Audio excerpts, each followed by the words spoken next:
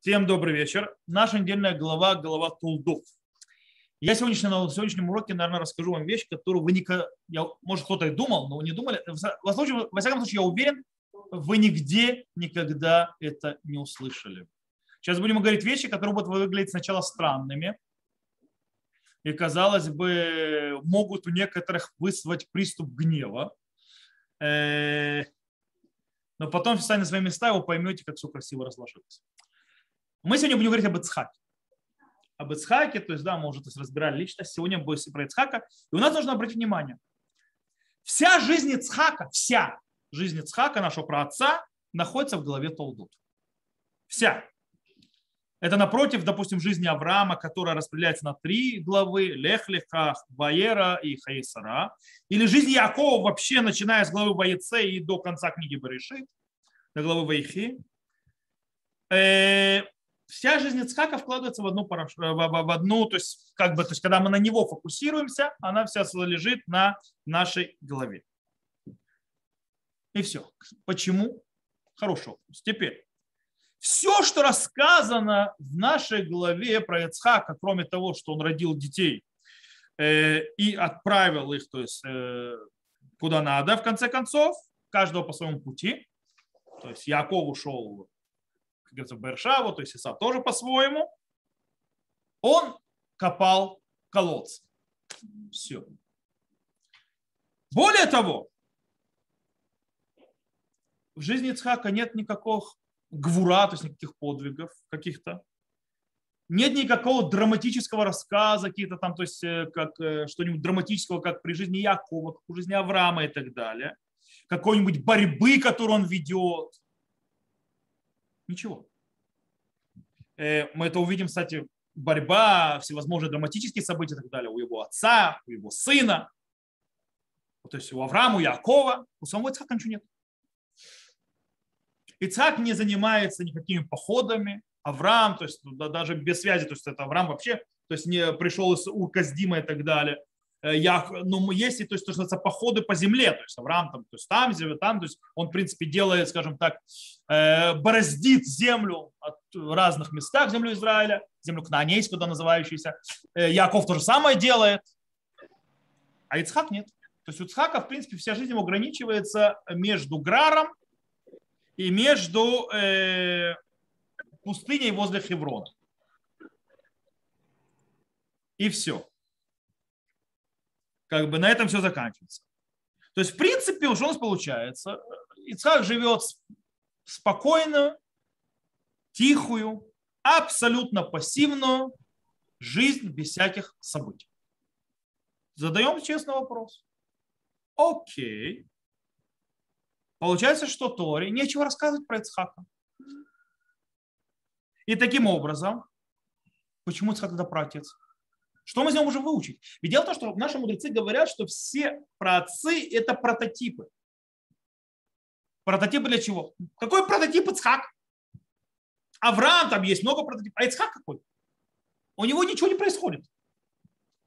Колодцы копать. То есть, да, прототипы. Но мы знаем, что евреи с лопа, колодцы не копают. Где увидели евреи с лопатой? Вот. Правда, в Израиле уже видели. В любом случае, Поэтому давайте начнем немножко разбираться. Начнем с того, что э, обратим внимание на слепоту Ицхака в конце времен. Кстати, он, он, Яков не был слепым, и Авраам не был слепым, был слепым Ицхак. Сказано в Ивеке закан Ицхак, э, то есть в Текегена и Нав Миро. То есть, да, в принципе, когда пострел Ицхак, и с Текегена, то есть с, а, а, а, потемнели глаза его видению. В принципе, ослеп другими словами. Но это очень важно, нам потом будет важна то есть фраза именно э, ветекегена и на милиро, то есть, да, то есть прекратились его то есть, видеть. Итак, э, у Ицхака без всяких то есть, вопросов, естественно, была проблема со зрением. Э, причем это проблема, которая привела к тому, что Яков смог получить благословение, которое вроде бы предназначались к Исааку. Но в принципе, кроме физической проблемы, у Ицхака есть другая проблема. Духовная. Если, а, точнее, э, проблема с э, определениями, развлечениями между вроде плохого и хорошего. То есть, пример, он должен был кроме того, что ощупать то есть по лицу, то есть, да, он должен быть определить, то есть разница на характер между двумя его сыновьями, между и Яковом, то есть, и, в принципе, Яков в его поведении, когда он приходит и выставляет себя за Исава, Яков должен был сразу понять, кто это. Ицхак. То есть ему, его невозможно было, по идее, допросить, его провели на ощущениях. То есть, в принципе, по идее, он не различает между Исавом и Яковом с точки зрения характеров. Почему он любит Исава? Он слепой, что ли, что как Исав себя ведет? Он любит Исава, несмотря на все поведение Исава.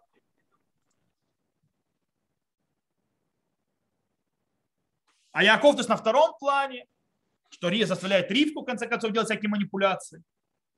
То есть, по идее, есть проблема. Таким образом, получается, э, он был действительно слеп. То есть, да, он был слеп, то есть в двух апостасях, и физи, физи, э, психологически, то есть, да, слепой, и физиологически.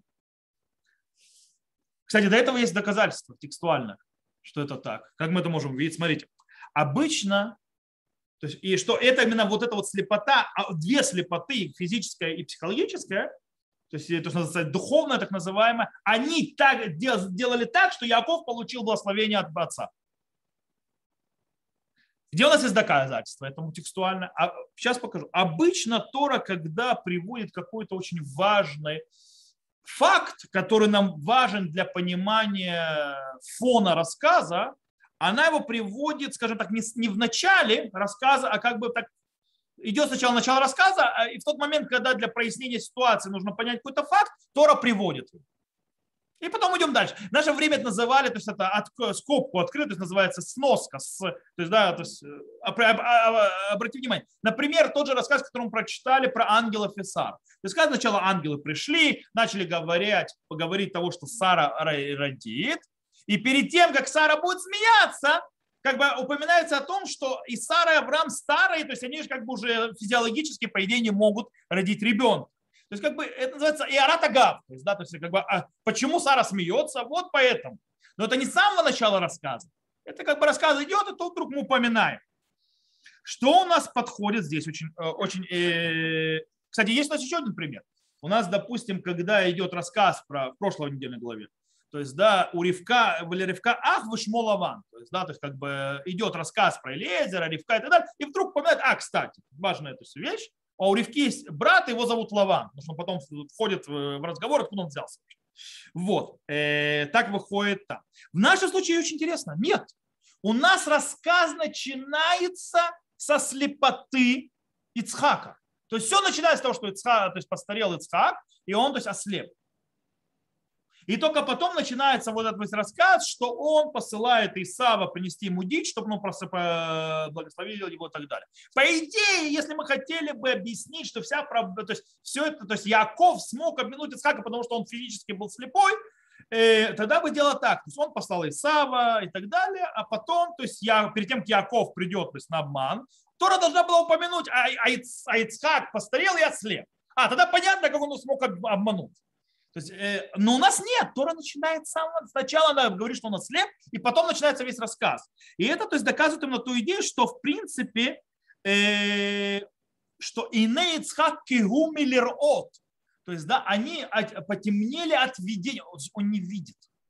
И потому что он не видит, все это произошло. Причем как он не видит? Он не видит э, даже в своем, то есть его невидение, то есть неумение видеть в том, что он предпочитает Исава Якову.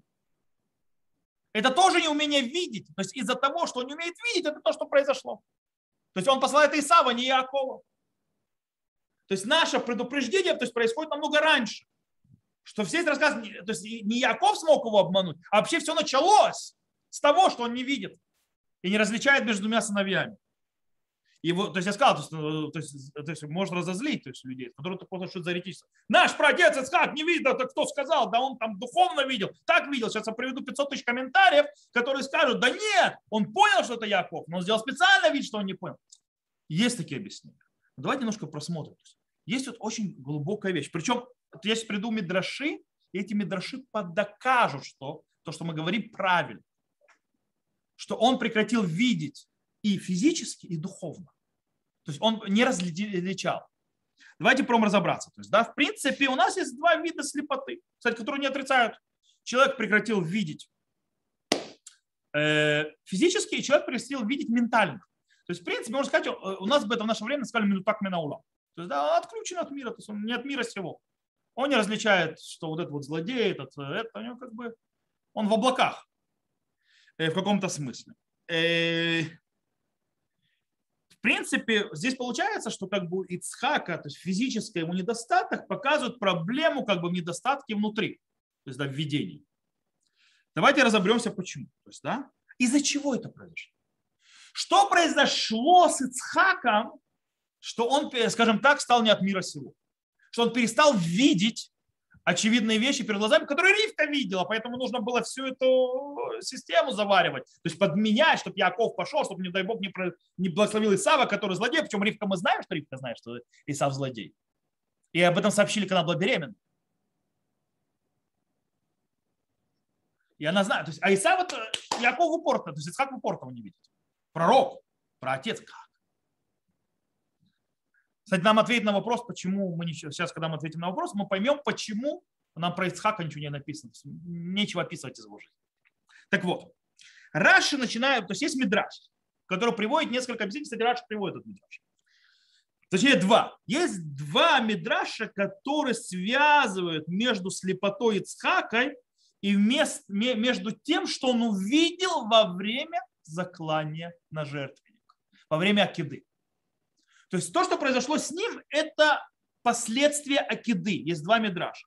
Один мидраш, то есть в принципе, э, кстати, на чем базируется это, эти мидраши? На стихе, который «Витикегена инав мириот». То есть и потускнели глаза его, потемнели глаза его от увиденного. То есть есть что-то, что он увидел, что повлияло на его глаза, то есть на его видение вообще. Да, во время жертвоприношения. Один мидраш объясняет почему. То есть, в принципе, оба мидраша объясняют, что что-то он увидел, и это повлияло на его зрение. Первый мидраш объясняет так. Он рассказывает, что во времена, когда э, Авраам положил Ицхака на жертвенник, Ицхак посмотрел на небеса, то есть глаза, то есть смотрел на небеса глазами, и что он увидел? Он увидел плачущих ангелов. Плачущие ангелы, которые смотрели вниз за происходящим и плакали.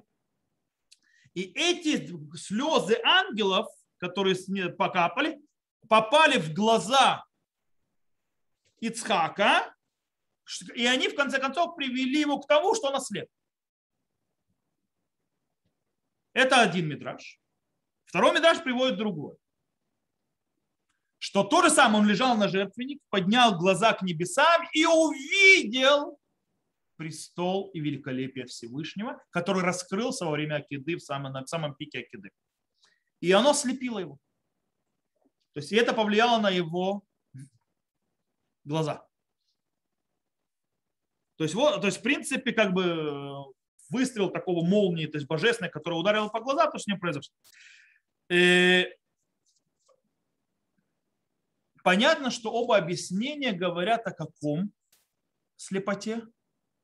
Духовной, а, потому что это духовный источник, а не физический. Потому что э, если э, э, глаза, то есть, то есть если то есть плач ангелов, слезы ангелов сжигают глаза, или, э, или ослепление, то есть престолом Всевышнего идет по глазам, то когда он должен был ослепнуть? Немедленно, если это был физический вопрос. Но здесь произошел духовный процесс который произошел моментально с Ицхаком, и в конце концов постепенно повлиял на физическую то есть, оболочку, которую, то есть мы сказали, что духовный процесс, который произошел внутри Ицхаки, он реализировался и на внешнее в конце концов. То есть на физическом уровне.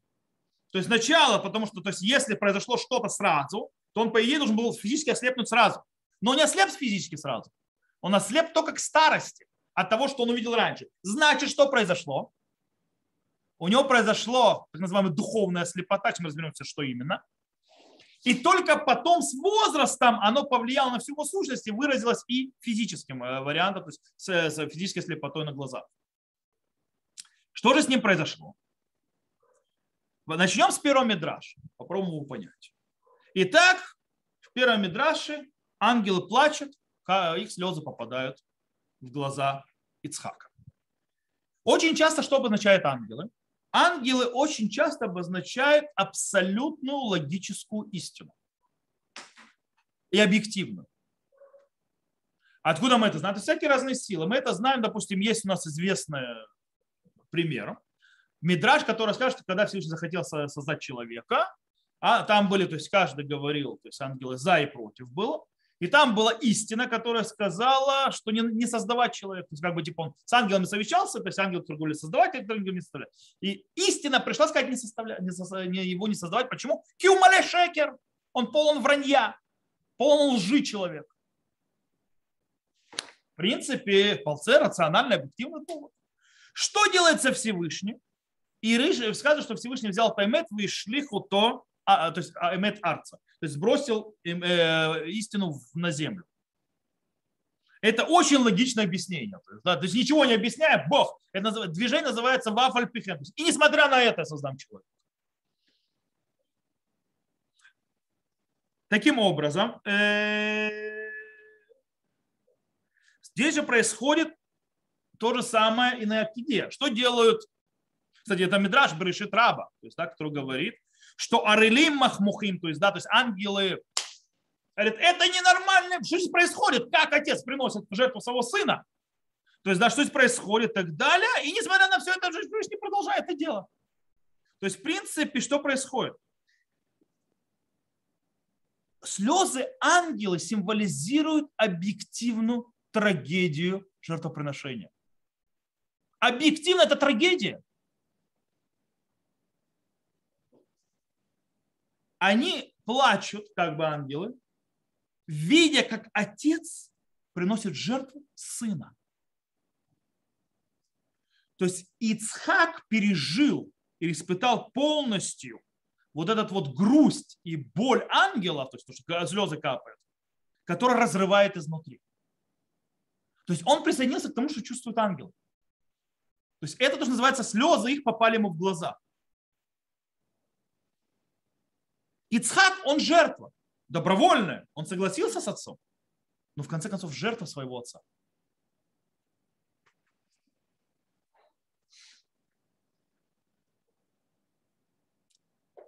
Слезы ангелов он почувствовал в своих глазах, смотря в глаза своего отца, которого он собирается э, принести в жертву. То есть, в принципе, он видел ненормальность ситуации. Тогда понятно становится, почему Ицхак не мог никак отдалить Исава. Он не мог себе сделать то, что сделал когда-то его отец. Пережив то, что отец то есть ради божественного и так далее, в принципе, поставил стену между собой и сыном в каком-то смысле, после того, что пережил он на объективном сознании с ангелами, Ицхак не мог это сделать. Ломит Сугаль. Его отец изгнал Ишмаэля. Аврааму было это тяжело, Авраам не хотел это принимать.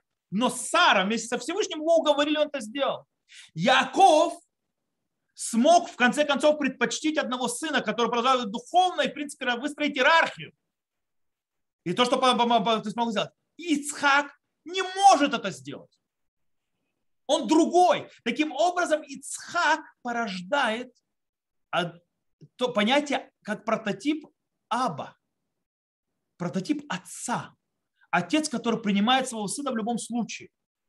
Это один из фундаментальных основ – то есть среди э, то, прототипов отцов, э, про отцов, он про отец, который Ав. Он это не может. Он не может это сделать. И это, скорее всего, очень важный аспект, который хочется закрепить, закрепить Всевышний. Чтобы он становится один из патриархов, потому что он вносит важный аспект отцовства. Он не может возить между сыновья. Это одна из вещей. То есть что произошло? Поэтому он пытается Исава, то есть он, он его не выкинет. Кстати, тогда можно объяснить и благословение. То есть, обратите внимание, он, он, он не дает, он понимает, что Исав не продлевает его. Но без благословения не останется. Он же ему не дает ему беркат э, Авраам, но он его не отталкивает. Кстати, это проблема. Это проблема. Очень важно, чтобы отец умел различать разницу между своих детей, э, среди своих детей. Но он не может. Потому что иногда нужно наоборот. Теперь второе объяснение, второй мидраж. Второй мидраж говорит, что, что происходит. Ицхак посмотрел на небеса и увидел престол Всевышнего. То есть что произошло? То есть наши мудрецы объясняют, что произошло. Из-за акиды, то есть из-за жертвоприношения, взгляд Ицхака обратился внутрь. То есть внешний мир его перестал интересовать. Он обратился в полную святость. Он соединился с престолом Всевышнего. То есть, в принципе, после того, как посмотрел на, э, скажем так, в мир Всевышнего и увидел его престол, он начал смотреть на мир, то есть в глубоком взгляде, то есть взгляде внутрь святости. В то, что он стал полностью святым с точки зрения божественного видения. Таким образом, все, что происходит, вся эта э, бодяги, перетряги внешнего нашего мира его не интересует. Он стал слеп к нему. То есть духовно ослеп. Таким образом, он полностью отключился от всех, что называется, промирских проблем. То есть он стал тот, кто смотрит внутрь. И это та, скажем так, э, причина, которая не, давала ему различить между Исаом и Яковом. Это внешний проявление. Потому что он смотрит внутрь, не смотрит уже на внешний мир. Есть очень интересная вещь. Э, по-настоящему нет разницы в подходе к Ицхаку по обоим Медрашам. Объясню почему. Неважно, что повлиял на Ицхак. Исаак, то есть в принципе, э, Ицхак не может смотреть над миром, то есть то, что называется как прагматик. Он на него не смотрит, то есть да, у него нет подхода прагматичного вообще, то есть никак к этому миру. Его мысли определенно направлены внутрь. Он смотрит, то есть, да, на, скажем так, понимание, глубокое, внутри, глубокое видение, ощущение мироздания, и его не интересует то, что называется практическая жизнь. Откуда, э, то есть мы учим это, что так произошло с Ицхаком, то, что это, то есть мы видим э, по отношению к Ицхаку, что так. У нас есть, допустим, возьмем, к примеру, отношения Ривки и Ицхака. Что делает Ривка? Ривка знает, что он ошибается. Что она делает? Она делает целую манипуляцию.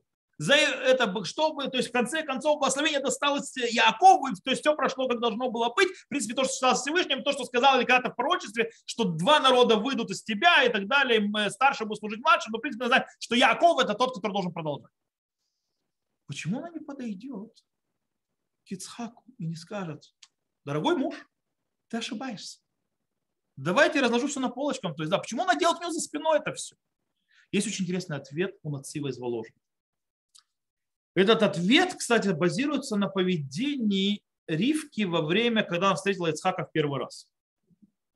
Когда она упала с верблюда.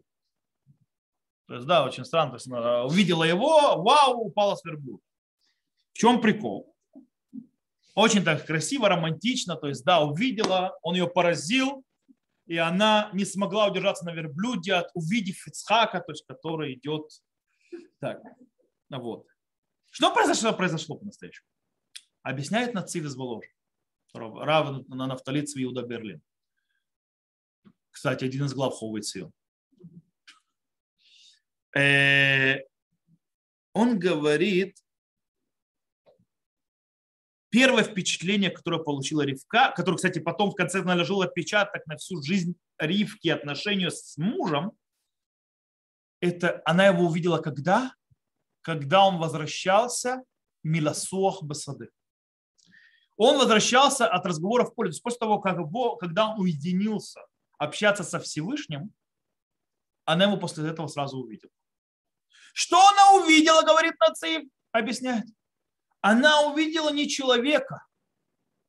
Она его увидела, почему она упала с, с, с, с, с верблюда. Она увидела человека, который общался с Богом. Это видела по-настоящему, называется Малах Хашем Сваот.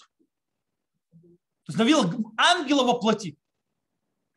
То есть в человеческом образе. Увидев этого, то есть это сделало такое впечатление духовного на Ривку, когда он увидел Ицхака, то есть, что она видела, она больше никогда не смогла побороть в себе трепет перед мужем. Потому что, как ты видишь человека на таком высочайшем духовном уровне, когда ты видишь тобой стоящего живого ангела, то ты просто, она не может перебороть свой трепет, даже когда она видит, что он ошибается. Она просто не может переступить через себя и сказать, Ицхак, ты ошибаешься. Она даже видит, он не поймет. Это человек, который живет в высших мирах. Он не здесь, он, не, он, он в другом месте.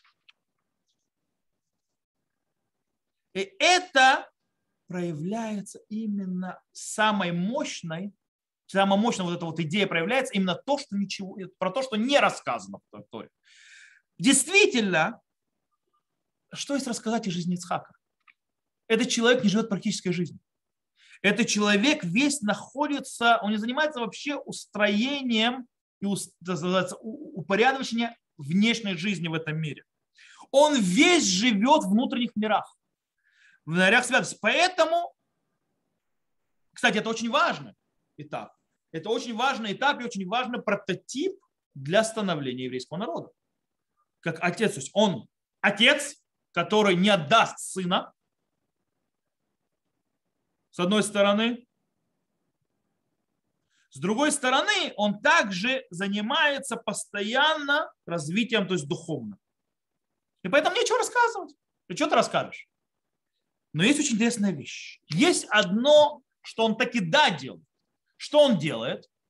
Копает колодцы, а самое главное, раскапывает те колодцы, которые э, копал его отец, их засыпали. Что это значит копает колодцы? Он, э, то, что называется,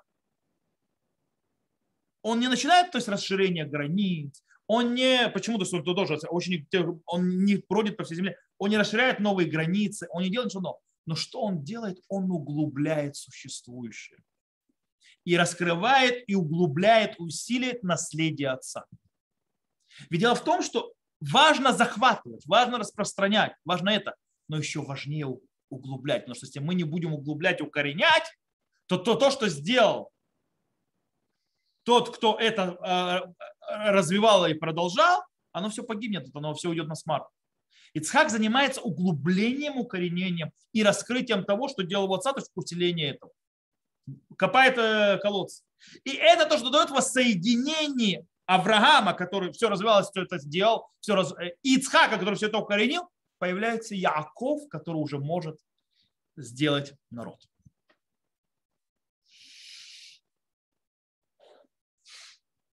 Это то, что называется, Авраам, кстати, говорится, он гар, то есть, да, он гора. Например, э, про Ицхака сказано, он саде, поле. То есть, в принципе, э, поэтому, кстати, Йоцела Сох Бесаде. То есть, Йоцела Сулах Бесаде имеется в виду, что он углубляется, то есть э, он идет гулять, углубляться, впитываться. То есть, в принципе, э, Ицхак тем, что он полностью, то есть, скажем так, углубляется, то есть зацикливается в каком-то смысле, на кисе кого, то есть на престоле Всевышнего, то есть он, он был лучше всего подходил он зациклился на престоле Всевышнего, то есть да, он углубился в видение миров, по этой причине он больше всего подходил к чему? К тому, чтобы окопаться, углубиться, укорениться. Поэтому никуда не двигается. Поэтому, кстати, он из земли Израиля не Он никуда не двигается. Он ничего не делает нового. Он укрепляет и закрепляет. Это что он делает? Таким образом,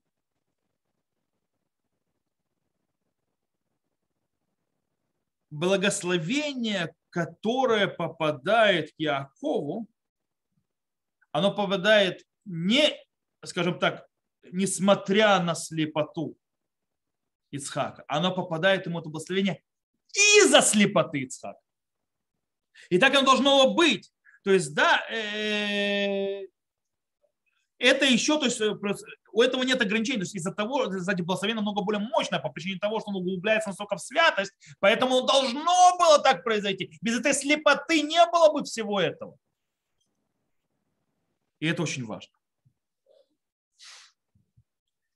Теперь э, вот это вот понимание Ицхака и его личности, оно как раз ставит, то есть, вот, э, то, есть, э, то, что говорят наши мудрецы. Наши мудрецы говорят, каждый из праотцов, он автипус, он прототип. То есть, когда прекращаются прототипы, то это уже не праотцы, не патриархи. И трое должно было быть сделать э, прототипами. Таким образом, объясняют наши мудрецы. Все эти рассказы, которые мы читаем, это не рассказы биографии про наших пап, Авраам, Исхак и Яков, а это фундаментальное описание зарождения корней, характера и особенностей народа Израиля и фундамента, который закладывается от каждого из прототипов из трех праотцов и четырех проматерей. Таким образом, то есть мы можем заключить здесь то, есть, э, то что мы учим из Хаки. То есть это, он, он, он вложил то есть, две вещи, которые очень важные были в еврейском народе. Понятие отцовства, судя по тому Медрашу, из-за того, что э, глаза, которые то есть, попали в него слезы ангелов, как мы объяснили этот Медраж. И второе, глубокое видение, ухождение и закрепление с точки зрения духовных миров. И живя им. Понятно, что Авраам дал еще, и Яков дал еще. Все это вместе соединилось и находится внутри еврейского народа. То есть они все эти прототипы построили нашу еврейскую сущность. Зел, на этом мы сегодня закончим. Как я сказал, сначала будет немножко, может разозлить некоторых людей, э, потому что, типа, что это Ицхак, то есть слепое, духовно слепое, это, это. а потом вы увидите такая вещь, которая все переворачивается, наоборот, то есть происходит очень что-то грандиозное. Вот, э, Зел, на этом мы закончим. Надеюсь, что вам было интересно. Что познавательное, что-то вам дало что-то. Я на этом заканчиваю запись. Кто нас слушал запись, всего хорошего. До новых встреч.